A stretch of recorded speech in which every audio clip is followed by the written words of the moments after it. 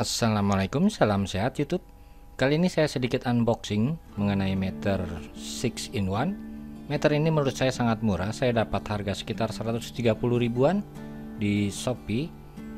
Untuk mencari barang ini jangan kalian lihat mereknya, sengaja saya cari yang paling murah seperti ini. Dan meter ini ada 6 satuan yang dapat ditunjukkan. Lamanya pengiriman kurang lebih 4 hari. Cara pemasangannya mudah, sudah ada stiker skematiknya seperti ini. Ini sumber listrik atau meter PLN. CT merupakan koil pengukur arus. Barangnya seperti ini. Kemudian ini beban dan catu meter ambil dari sumber listrik. Oke, kita misalkan ini sumber listrik. Ini output. Sudah siap. Saya nyalakan. Sudah on.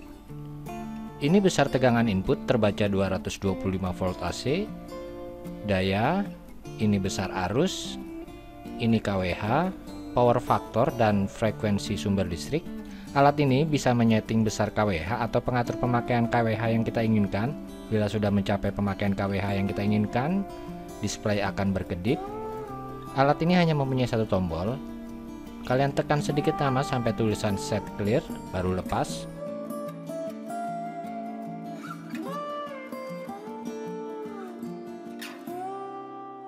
Dan tinggal kalian atur besar KWH dengan menekan tombol pada saat angka berkedip.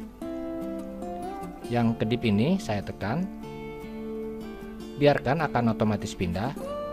Bila sudah pindah tekan lagi tombolnya atur sesuai keinginan.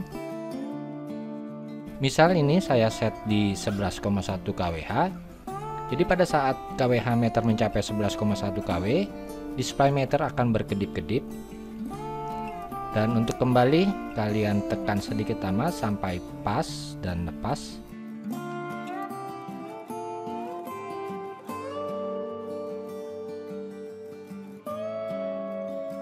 Oke lalu saya coba beri beban.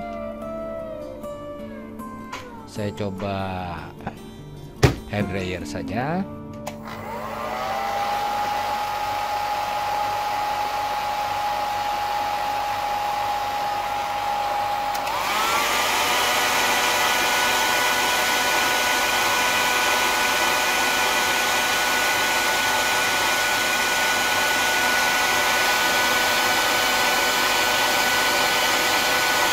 Berbagai pemakaian daya sebesar 0,02 kWh saya coba matikan. Kita misalkan mati listrik apakah pembacaan daya hilang?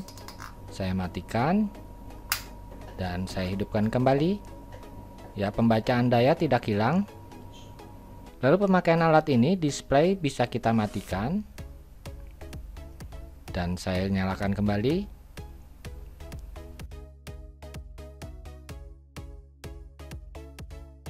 Lalu bagaimana untuk menghilangkan data pemakaian daya kembali ke nol?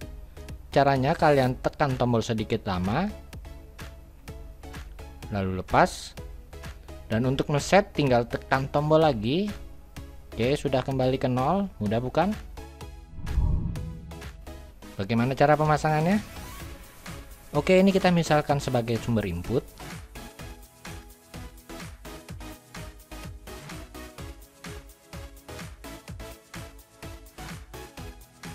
Karena menurut skematik catu meter diambil dari sumber input, maka saya beri kabel tambahan untuk ke catu meter.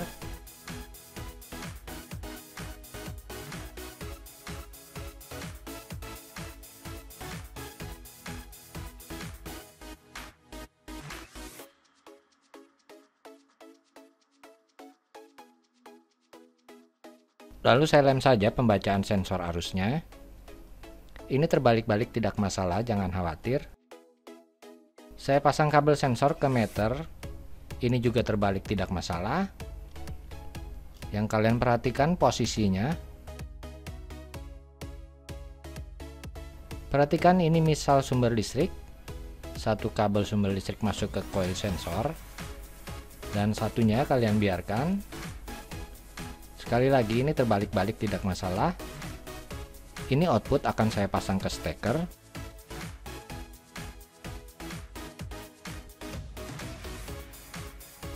Perhatikan 1 meter dari sumber listrik. Oke, sekian unboxing kali ini. Terima kasih telah berkunjung. Wassalamualaikum warahmatullahi wabarakatuh.